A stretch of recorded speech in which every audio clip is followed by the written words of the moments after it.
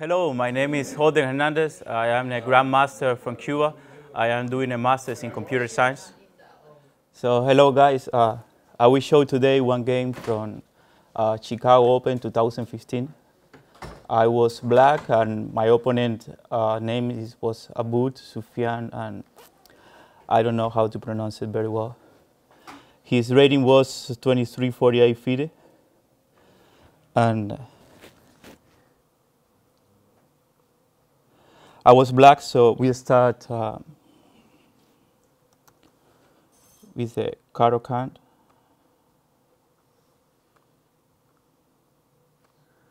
D5, knight c3, pawn takes, knight takes, bishop f4, knight g3, bishop g6, And then he played uh, bishop c4. Maybe it's not the most uh, common move, but I play e6.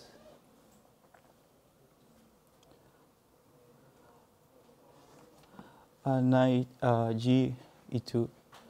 Actually, uh, when I play the game, because in the United States it's always hard sometimes to realize what is the real open, uh, the real rating of your opponent.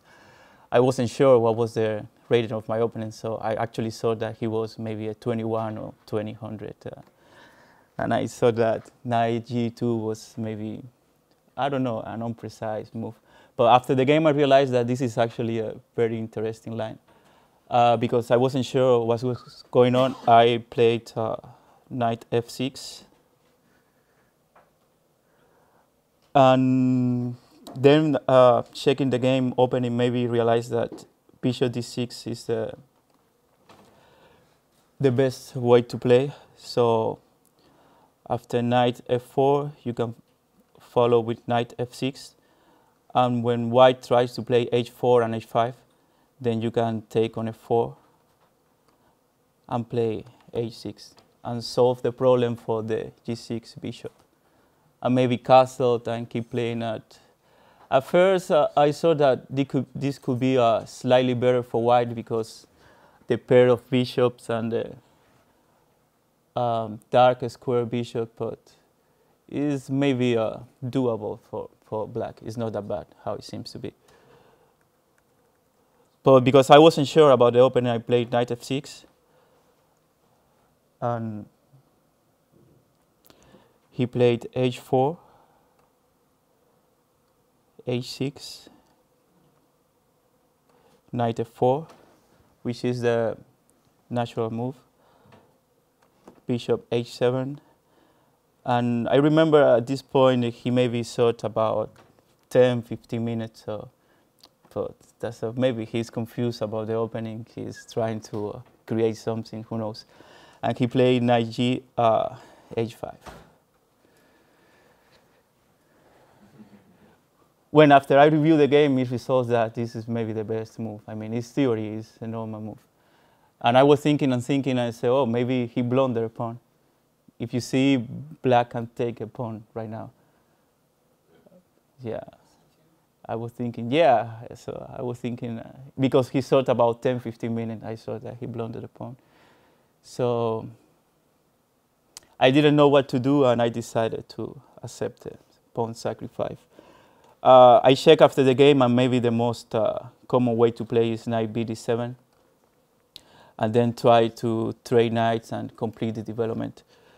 But I decided to take on h5. So if white takes with the queen, of course, the c2 pawn will be hanging.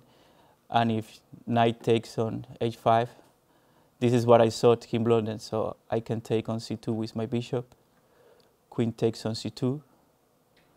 Uh, queen a5 check, bishop d2, and I took the knight. So I was super happy, extra pawn uh, after 13 moves. But at this point, uh, he made another um, natural move, of course. Uh, queen b3, uh, I think is useful in any setup because he's attacking all my. Were you still happy now? Um, right now, I was still happy, but I was still not so sure about it. And after b6, uh, actually, I remember when he played queen b3, here I stopped thinking because I started realizing that I don't like my position. Actually, and he started playing faster, so maybe he was trying to trick me. And actually, during the game, I was afraid of moves like f3 and then long castle. And if you show this position to the supercomputer, you realize that uh, black is almost lost. So it's a lot worse. Because after f3 and long castle, uh, black has problem everywhere, even with this queen. And you cannot show castle g4, g5, h4. It comes super quick. And if you play knight e7, still and try to long castle, still your queen cannot help you because the d2 bishop covers h5. So white always plays queen a4 and attack you. I mean, it doesn't work. It's, it's a big problem there. Hopefully, uh, during the game, uh, he played right now queen uh, g3. Yeah, I was more afraid of lines like uh, f3, for example, 97, long castle, and now, if you move the bishop, maybe g4, and I start the attack. And if you uh, long castle, I can just take a pawn back and continue attacking you. Right now, I don't know. For example, king b7, trying to defend both pawns, it won't work. I guess just bishop check, king c7, and maybe bishop d3. Or, oh, wait, wait. Uh, maybe g4 first.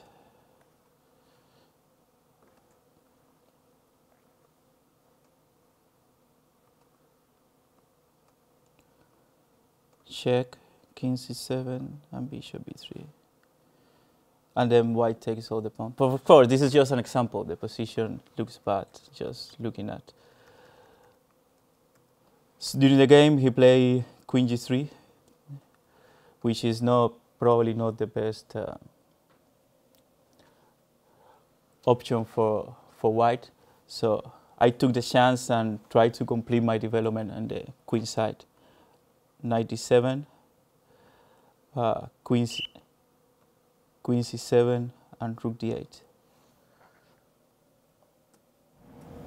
What are you going to do if you just castle instead of queen c7? Castle, short castle?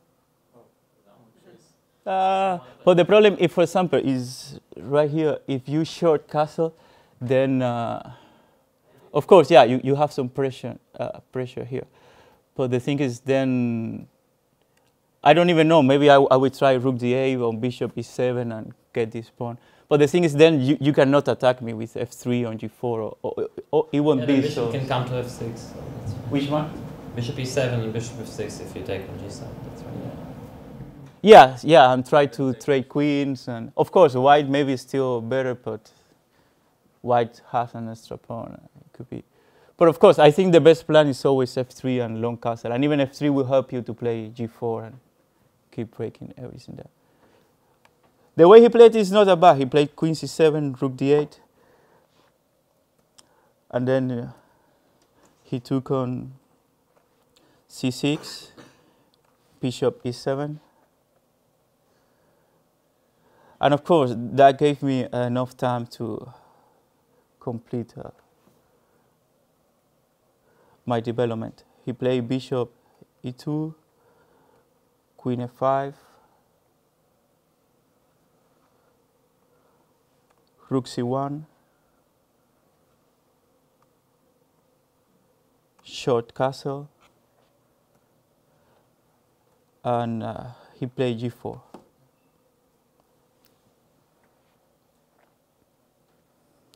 I tried uh, queen g6, which I think is um, a natural move. White uh, has to try to push the pawns. Um, after H5, some computers even suggest uh, queen h7, but I saw that it was too ugly for a game, so I came to f6.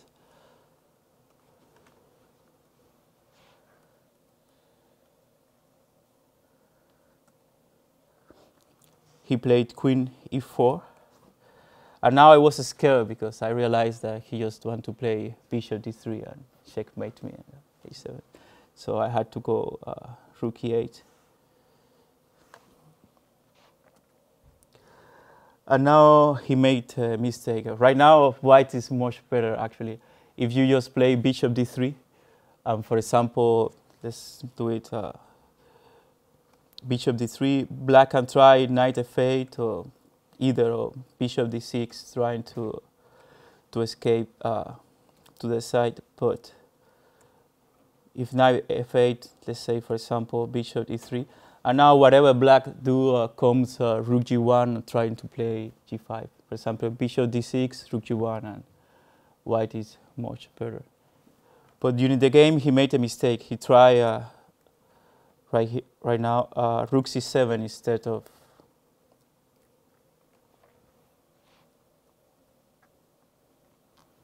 instead of bishop d3 first and bishop d3 and rook c7 uh, result that is a big mistake. After that move black uh, can equalize in two different ways.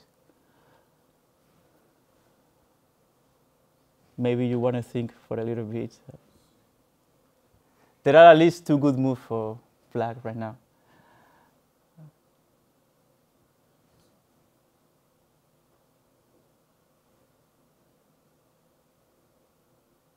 Knight c5.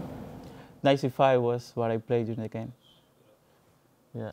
But maybe the most obvious is just e5. Yeah.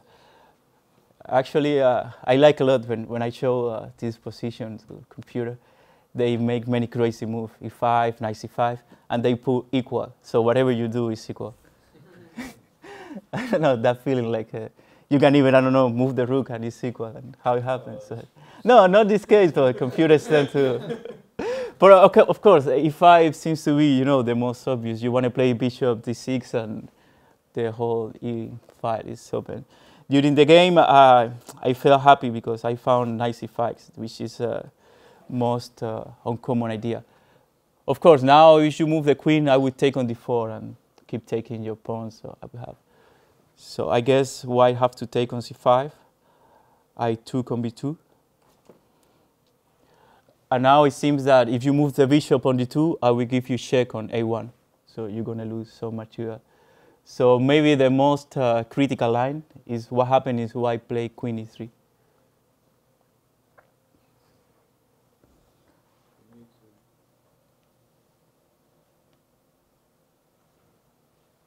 You said if, if bishop d3, then what? He takes the bishop. And But I have rook e7 in there. If bishop d3, Rook, Um, rook takes, rook takes, check. Oh, check it, yeah. And I have rook e7 in that case, I, I even have to check rook d4 and maybe bringing uh, the rooks to uh, the d5 to and take to all the bishops. And the, I don't know. When, what do you say? After Oh, bishop? bishop d3. But I mean, against bishop d3, you have no d4, choice. You have to take. Checkmate. Yeah, then does he take the rook? Oh, like e7? a take and check on a1 and Yeah. taking the rook. And rook Oh. e7? Just I take on understand. d3 and check on e5, right? Yeah, and play check the 7 e5, rook. Oh, Casper. Yeah, actually, let's try that in the board. Uh, bishop d3, right? Take d3 and queen e5. Ah, That's- the other rook. King of simplicity. Very nice, yeah. Queen e5 You check. can tweak Casper. Queen e5. Yeah. Casper, king of simplicity. Yeah, because I realized, of course, check, move, okay. take, and just take here, right? But yeah, I can check on e5 and uh, oh wait, Actually, maybe queen a1 check is better because he has to play king e2 and then queen e5 check. Well, the king on e2 actually looks good anyway. But of course, uh, right now uh, I would take on c7 and have an extra pawn. Yeah.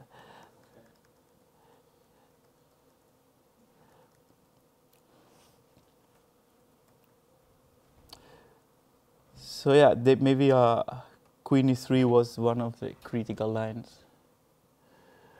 But then I realized that I have uh, bishop g5. So if you play f4, rook d2.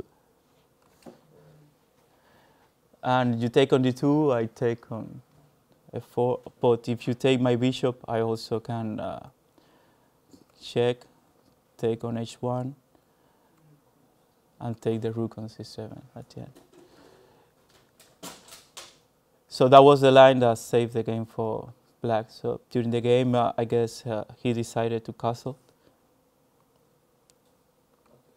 Is there any drawish line? I missed. After 95? Because you say it's equal. No, no, actually, actually uh, castle seems to be the best option. the, the, is the only move? Yeah. I mean, if you don't castle, what else can you do? I- I'm taking the bishop with check. If you cannot defend it or move the bishop. It's Better because after away. castle your position looks better. But No, actually, after castle, I have to make an only move with black.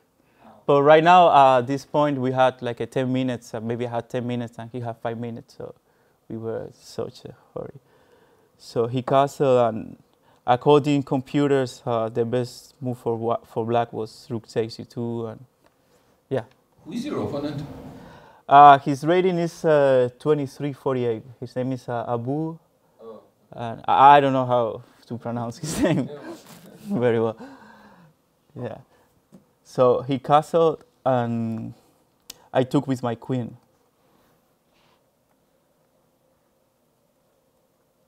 Which uh, was maybe a mistake. I guess um, if I were playing with uh, white or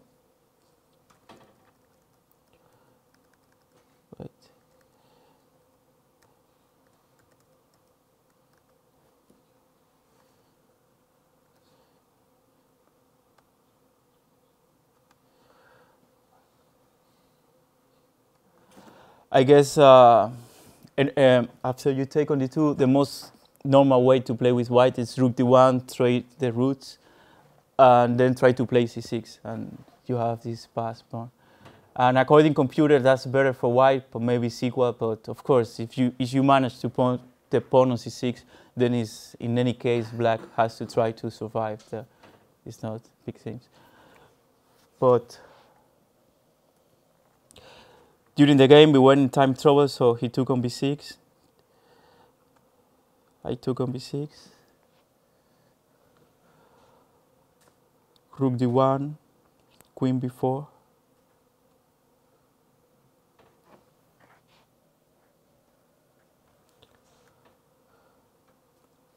Rook c4. I have one more question. What if bishop b5 trying to take e8 or e7?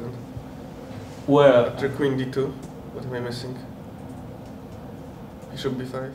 bishop b5.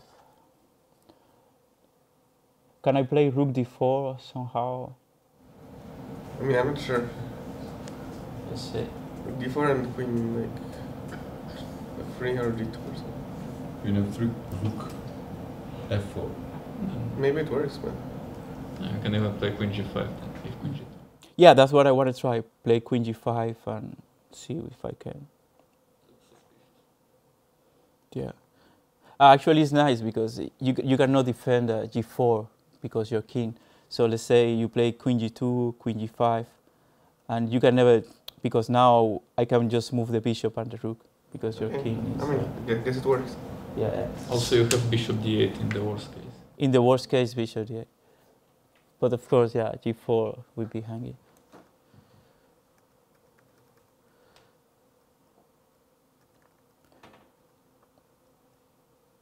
So right now, queen d2. So rook takes d2 was better? Rook takes d2 was better because uh, right now, instead of taking, of course, this line, uh, rook d1, let's say I move my queen, uh, take, take, and c6. Actually, I, I was uh, trying this with a supercomputer, and it says it's many plus 30 or plus 40 for white. But in, I mean, in, in any case, it's hard to play with this pawn here. I think uh, even if you uh, get a better chances, y- white will always have, uh, yeah. Un- unless you manage, I don't know, to block somehow. But yeah, of course, white now is better.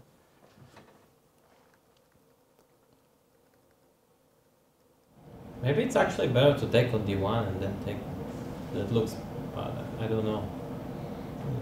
Take on d1, then take With the bishop on c5. Oh, with the play wolf. that. uh, With the what do you take on c5? Maybe Because there is there to queen f3. But then the f7 pawn. Oh, Yeah, I play rook f8 and then maybe try to put pressure. on. No, no, but because when you take on d1, I move my king to g2. Oh, Yeah, yeah, yeah. And your rook on your rook on d1 and the f7 pawn will be hanging. Ha. so yeah, but at this point, yeah, that's what happened. We also didn't have much time, so I took. He played rook d1. I played queen b4. Uh, maybe he realized. I, I noticed that uh, maybe his plan was playing bishop d3, and he, he wanted to try to create some uh, counterplay. That's why he didn't trade queens. He played queen rook c4. I took on d1.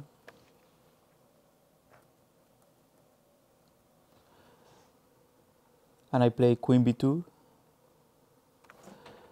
bishop c2.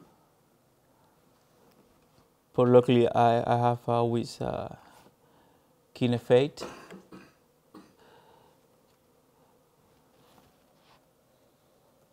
Oh, actually, I play bishop c5 first.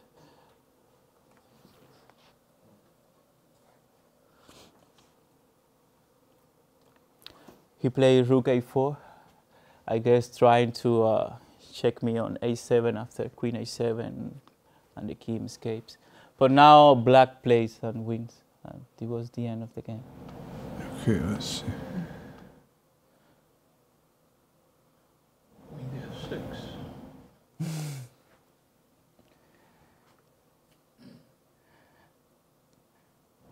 b5?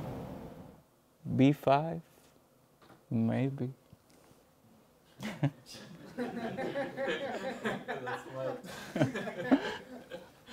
No, the problem now is that white cannot defend on f2 because the queen is defending the bishop. Oh, already. f5. F5. Um, Five takes. so, come on, guys, it's simple for black. You just need to attack f2 and game is over.